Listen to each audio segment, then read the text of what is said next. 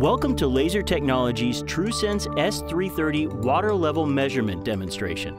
Two S330 sensors are being used to measure water levels in these two tanks.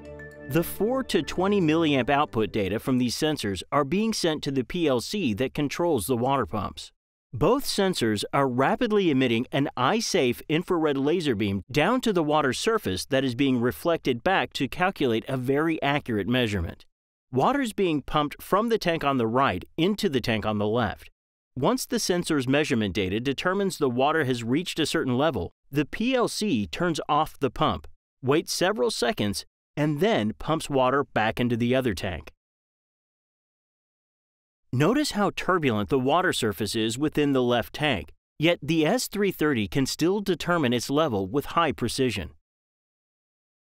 This is possible for two reasons. First, a diffusing lens is applied to the front of the laser sensor, which gives the sensor the ability to spread its beam out over a large sampling area of the liquid surface.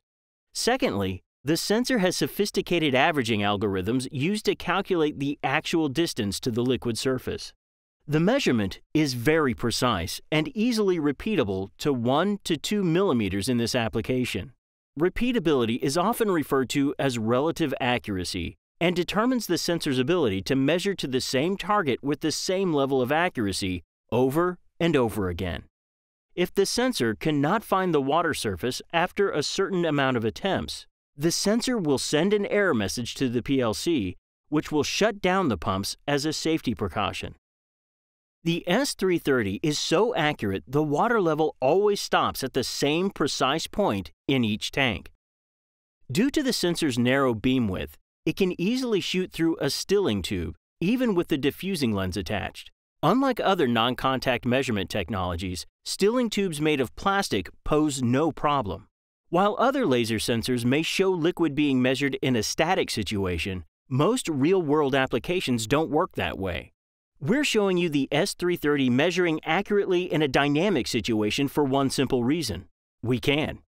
The S330 model can be easily programmed into a variety of PLCs using its 4 to 20 milliamp protocol.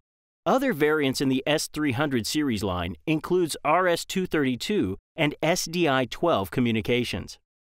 The sensors used in this demo are off-the-shelf units and required little setup or configuration to perform as demonstrated.